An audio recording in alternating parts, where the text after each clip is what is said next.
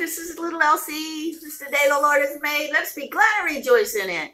Today is February the 21st, 2020. Yesterday was 2020 20. Boy. Anyway, um,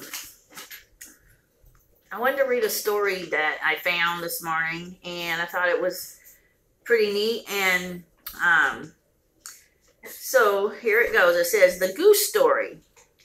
Next fall, when you see geese heading south for the winter, flying along in a V formation, you might be interested in knowing what science has discovered about why they fly that way. It has been learned that as each bird flaps its wings, it creates an uplift for the bird immediately following it. By flying in a V formation, the whole flock adds at least 71% greater flying range than if each bird flew on its own. People who share common direction and sense of community can get where they are going quicker and easier because they are traveling on the thrust of one another. Whenever a goose falls out of formation, it suddenly feels the drag and resistance of trying to go it alone and quickly gets into formation to take advantage of the lifting power of the bird immediately in front.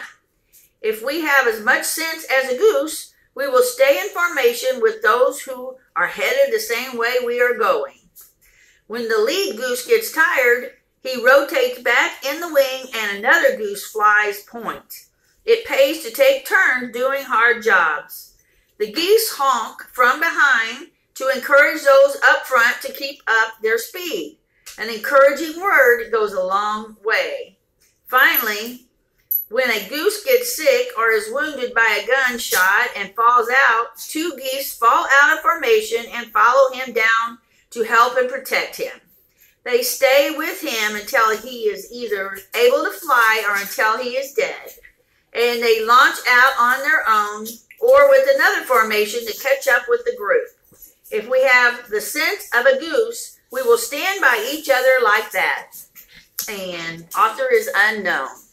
So, um, I uh, just had read this earlier, but I decided to stop the video because I wanted to do look up a name of somebody because I'm going to tell you why in a second. But my, um, but uh, my uh, daughter's boyfriend told me who is a soldier. He told me that that it reminded him of the military.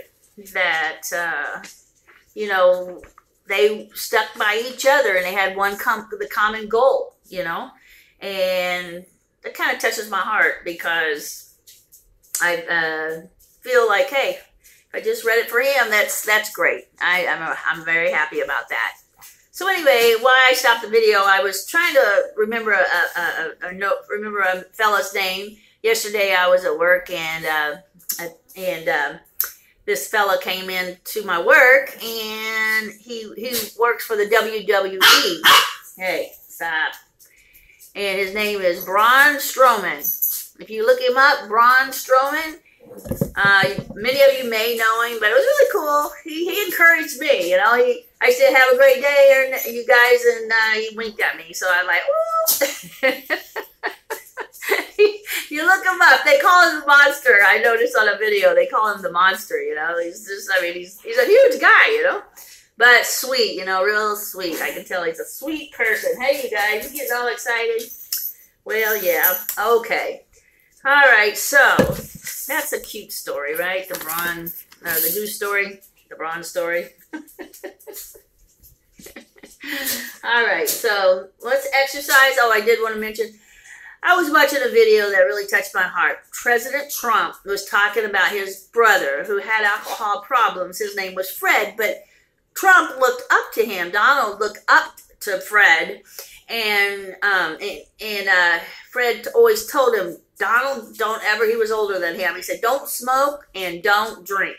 No, don't drink is the main thing, and don't smoke. He told him. He added that, and and so Donald never had a cigarette never had a drink in his life. And I said that was so encouraging.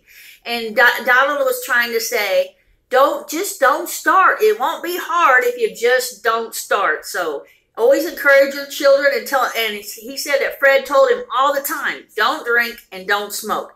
And he just kept telling him that and kept telling him that. So encourage your kids. Encourage your kids to not drink and not to smoke because it can be uh, the monkey on your back for your whole life. So, um, anyway, you don't want that. And, you know, it was a very encouraging video. I was just like, wow, that's so encouraging. I want to share it. I'm going to tell, talk about it.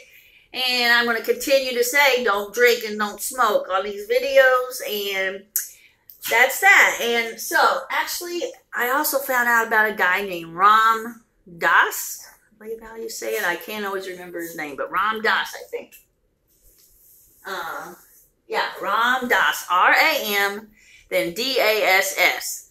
And apparently he's pretty famous, but. Uh, but anyway, I was reading my Dr. Wayne Dyer book, and he was in there too. So uh, we're gonna play him, and it's about addiction. I said, "Oh, perfect." So I don't want to make this too long. Let's uh, let's go ahead, just exercise with me. Let's just work out our bodies a little bit. All right. And um, my doggies are all feisty this morning, so let's get feisty. Let's encourage one another. Encourage one another. Oh, I'm all encouraged, you know. Like I said, seeing that Braun fella, muscles everywhere. He's huge. He's so strong and Oh man, what an encouragement to see somebody like that. You know, makes you want to go work out. That's what I'm doing. So here we go. Y'all ready? Let's do it. Tummy's in. Derriere under. Here we go.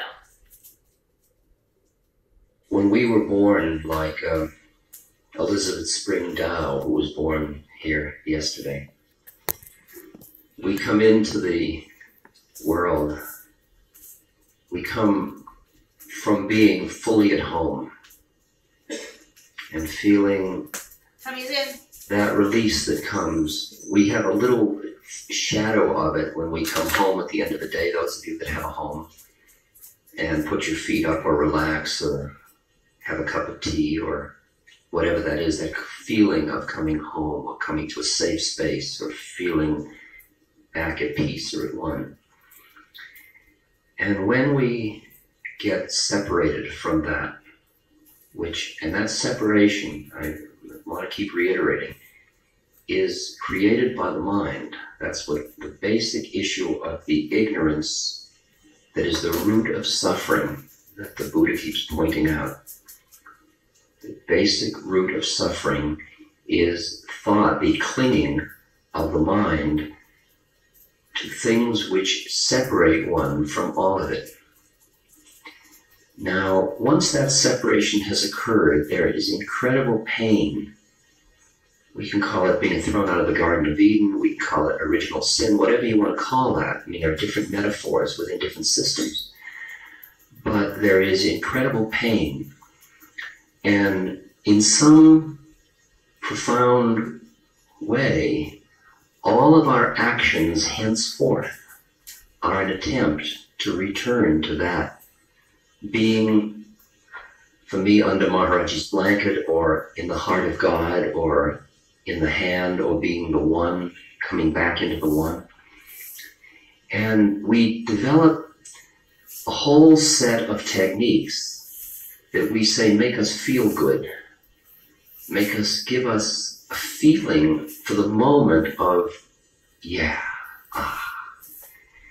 And some of those give us that moment so intensely, and the rest of our life is so so much pain of our separateness and so devoid of that feeling that once we find one of those things, for example, it might be a moment of sexual orgasm, it might be a moment of surfing when you transcend the dualism between you and nature. It could be when you're doing something like cooking, the way you turn into just the joy of the process. It could be, it could be any number of things. It could be any number of things. Um, that when that occurs and it works, it's, it reinforces the behavior and you start to do that behavior more and more because it feels good. It takes away the pain of the separateness. And the use of drugs, the use of material possessions, the use of relationships, all of it, when you get busy and get obsessed with relationships and wanting to get closer and closer to somebody, it is trying to get to the place where you come back into that oneness. It is it's that yearning, and you can feel it permeate the universe of people's consciousness.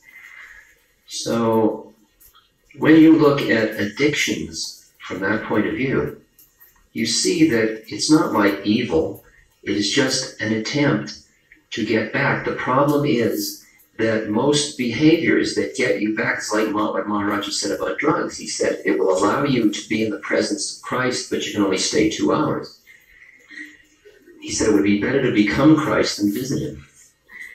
And that's what you find out with most addictive things, that they give you a short rush, but they don't allow you to remain at home. They just allow you the taste of it.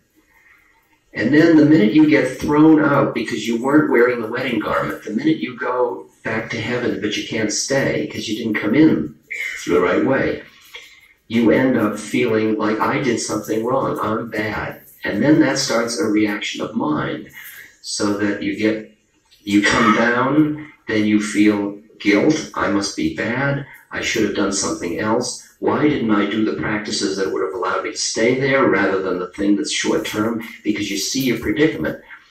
What happens is that the the opportunity for the immediate gratification, it's like what's called in the psychology, the choice of the the little candy bar now or the big candy bar later. And with, with little children, they'll always grab for the little candy bar now because they want what they can get now. They don't they don't have any delay of gratification. And spiritual practices compared to having sex or compared to taking coke or something is more like delayed gratification versus immediate gratification. So when you start to stand back and see your predicament and see what you're doing, there is a way from a spiritual perspective in which you begin with that slight bit of awareness to extricate yourself from the chain of reactivity that we're talking about.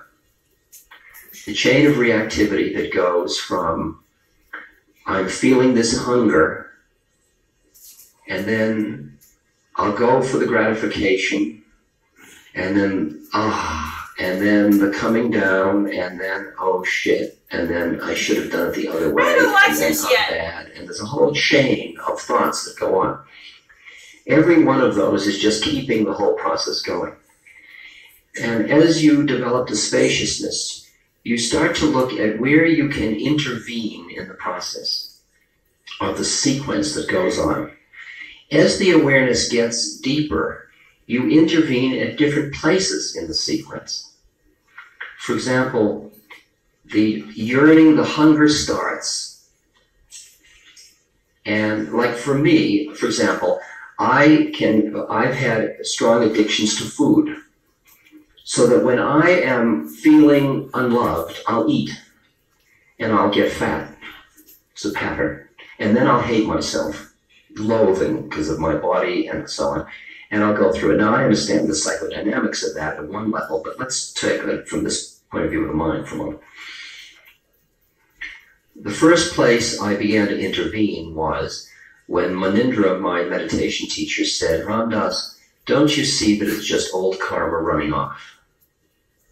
And I began to break in at the point that after I had eaten too much to reduce my anxiety because my mother fed me food when I was upset, and I learned that pattern and all that stuff, I start to, instead of going into I'm no good and revulsion and all the sequence, I break the chain at that point, and then I just go back into my spiritual practices. Okay, instead of carrying out that whole sequence, I, I shortcut there. As the witness gets stronger, you start to go back in the chain further and further into. I wanted to tell you a couple things. Um, first of all, I I haven't listened to this video, so if it comes out with some stuff I don't know, I don't know. I'm sorry. Okay. Uh, so far, I'm still gonna play the video, but um, if it gets too rough, I'll stop it. all right. So the other thing I want to tell you, I've been trying the last few days, and it seems to work. Is like so. You never know what tomorrow brings when it comes to food, right? So you never know what you're going to be exposed to, what what kind of food or what have you. Um, lately, I said, what can I do? You know, um, uh, I decided to break up my day into three. You know, like morning, lunch, and dinner. So breakfast, lunch, and dinner. So breakfast, you know, in that time period between uh, when you wake up till noon, I can have 600 calories, and then that's it. I'm done for the that part of the day. Then the next part of the day, I can have 600 calories from 12 to 6. And then from 6 to midnight, same thing. I try to gauge my calories to be just 600, no more, for my body. That You guys might be able to live happily on, you know, more than that, 2,000, you know, divided by 3. Just break it up. But the point is, it has been working. And, and then I just try to Remember, I shouldn't go over 600. Hey, if I go over a little bit, it's okay. But at least I have that goal of sticking around 600 calories every time I eat. And then I don't worry about it. Whatever I ate, I just it's all gone after I, um, you know, done with that 600 calories or done with that part of the day. And uh, you don't worry about it. You don't worry about anything because you kind of just keep yourself in, under that control. Okay. I thought I would share that because you don't have to worry about overeating when you kind of gauge yourself like that. You'll be satisfied. You'll know you won't have to go hungry. You won't have to diet. I mean, it seems to be working. And you can eat really whatever you want. And for me, you know, it's been really hard. I've been trying to be a vegetarian, but it just doesn't work always for me. You know, the food ain't available, whatever, whatever. So, and it is very comforting sometimes when you eat meat. I, you know, like a chicken soup or whatever, you know. So I've been under the weather and I made myself some chicken soup and yeah, it's not vegan, you know, I'm vegetarian, but anyway, so, but it's okay. All right, so guys, I just wanted to share that because he was talking about overeating and you won't overeat in this in this thing because you know you'll never have to go hungry and you kind of have a plan and it really works and it's kind of helping me keep my weight uh, where I want it. Uh, I'm not even going to weigh myself for a while so I don't get discouraged or anything like that. And I am just uh, trying this and it's really, really, really working because you can pretty much decide, eat, eat whatever you want as long as it's around 600 calories, you know? And it don't have to be exact. So remember that. All right, here we go. Sorry about that.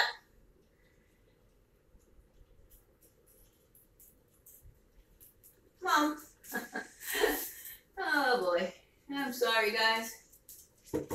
As the dis the, the separateness right, is starting to come and the feeling of hunger. And as you're about to eat, you start to notice the fact that you're about to do that, and you, your mind anticipates the whole sequence, and you, in a sense, begin to see the emptiness of the form you're about to take. Now, if you try to stop it too soon using your mind to stop it, there's a residual backlash from it.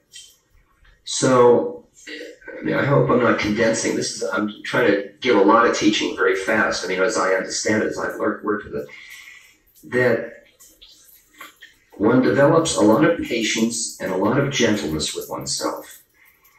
And for generally, when people come to me with addictions, I'm inclined to say, start doing spiritual practices. Start doing the studies that will allow you to see yourself in a new way, that will allow you to understand what that hunger is you're feeding in a new way, to just get a little different perspective on it. Don't worry about the addiction. It will fall away when it will fall away. And when you do it again, just notice it. And the one, the line I always use, how poignant I am. How poignant the human condition. You know, I'm so gentle with myself. And what I have watched is the patterns of my obsessions and addictions have changed over time. There's no doubt about that. And yet I didn't deal with them directly head on for the most part. Because what you see is, and this is something that I'm sure I, I create a lot of waves in many people, including people that I love very dearly, that I'm close to. I see that a lot of the programs to deal with addiction end up creating a new addiction to being not addicted that is as bad as the addiction itself. That, I mean, when you meet somebody that says, I haven't smoked in three years, two months, 10 days, and four hours, you realize that their mind is as stuck as their mind was stuck in smoking. Maybe they won't die of cancer, they'll probably die of uptightness. I mean, I, am being a little facetious, but in general, I'm saying that dealing with dealing with things that are which you're caught in the minute you start to stop them, you invest them in a way. And so my suggestion is that you just keep cultivating the practices. And every time you don't see when I if I get up in the morning and I got up and I decided to stay in the dream state and not get up to do my sitting, that could start a whole sequence of you're no good, you'll never get to God. But in the time I'm saying you're no good, you never get to God, I could have been doing mantra. And when I realized, and I began to sit in meditation and watch the sequence of my behavior, I saw that all my recriminations didn't help anything in particular. They weren't really functional, except trying to make me feel comfortable with myself. And the better thing would be the minute I notice that I've lost it, or I've gotten caught, or I'm stuck, or I just start to do something. Just pick up a holy book, do a mantra, Think of Maharaji, whatever. Sing a song. I mean, I'll start driving to town and I'm going to give a, a, lecture and I start to get uptight. Oh my God, do I know what I'm going to talk about? You know, and it's all, it's a neurotic pattern. I know it from years back. It's my, I mean, I can give you a whole psychodynamic storyline about what that's about. I look at it, I think, ah, there it is.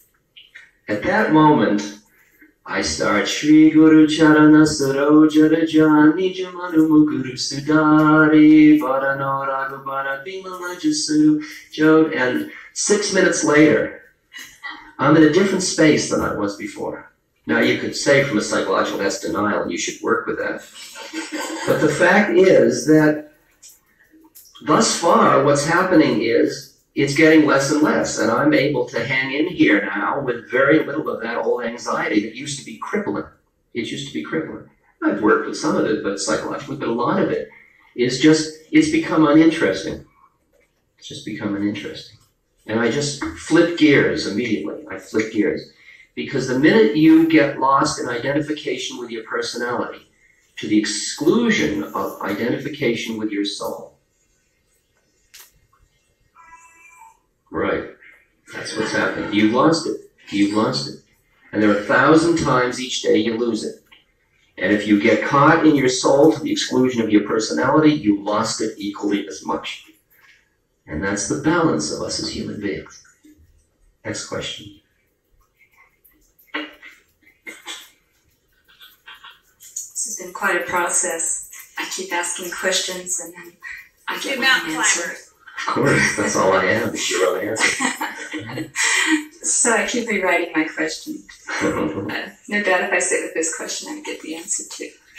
Uh, but my most current question is um, recognition that I feel like I'm in a codependent relationship with God.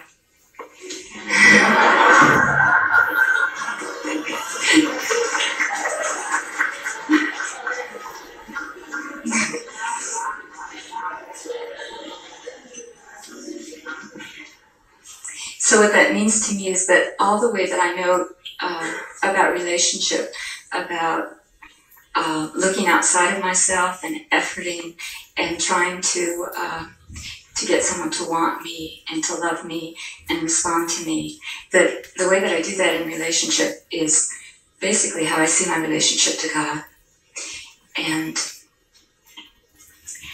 I don't feel like the way that my personality is organized right now that I can experience God coming back to me, wanting me and loving me and accepting me. It's just the dynamic that seems to be really strong, strongly operating in in me right now. And when I think about uh, how to do that with relationship, I would I would say that my work is to pull back and to not be so Yeah. outer focused, and to let relationship come to me. Um, but the question I have in relationship to God, it gets a little more nebulous. It's not very concrete, and I'm wondering how to be in relationship with God and what's God's part, what's His role, what's His responsibility to me to uh, to come into relationship.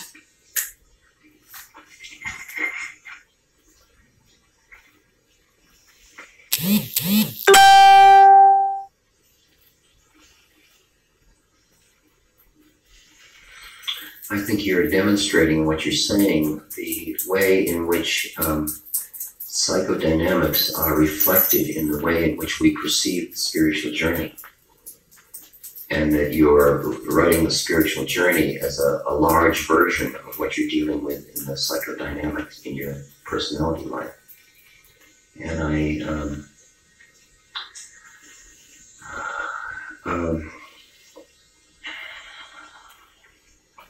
there are a number of ways that um, appear to deal with what you're talking about. Um,